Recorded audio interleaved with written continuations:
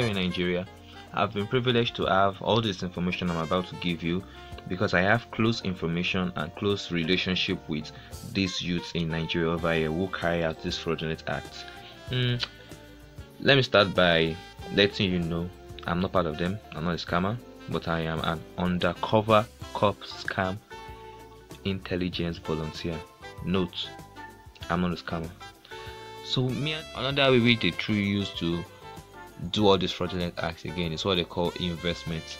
Number two.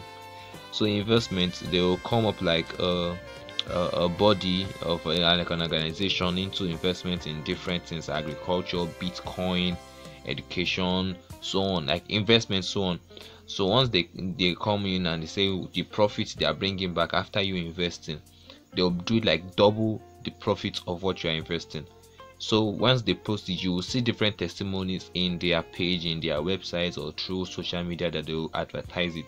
You see different testimonies saying ah i have gotten rewarded through this. It's very very trusty. But note many of them many testimonies as i said i say again note note. There are many of them. There are so much. So you can see like 100 comments in their posts, in their website or in the social media platform that they have advertised it saying that they have been rewarded. There are many of these guys so they'll connect themselves they'll still just comment and be putting they'll drop screenshots of like withdrawals of crediting their accounts with those things. They are not really they are just doctored pictures doctored messages sent on their phone. So they post all these things and once they post it and you go through it you want to invest they'll give you a number for you to contact someone. The person you are contacting directly is the owner of the plan of this scam. So once you start talking with them they'll give you different ways on how you invest and how they're going to how it's going to pay you back triple or even double times the amount you're investing with.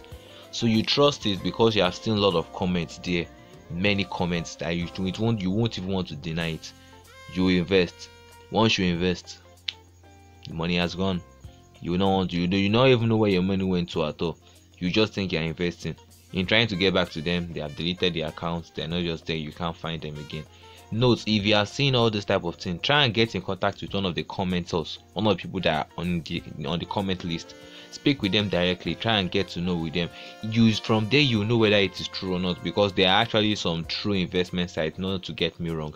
But these fake ones once you chat with them they will not be able to respond to you because what they have just been told to do is just to comment that they have been rewarded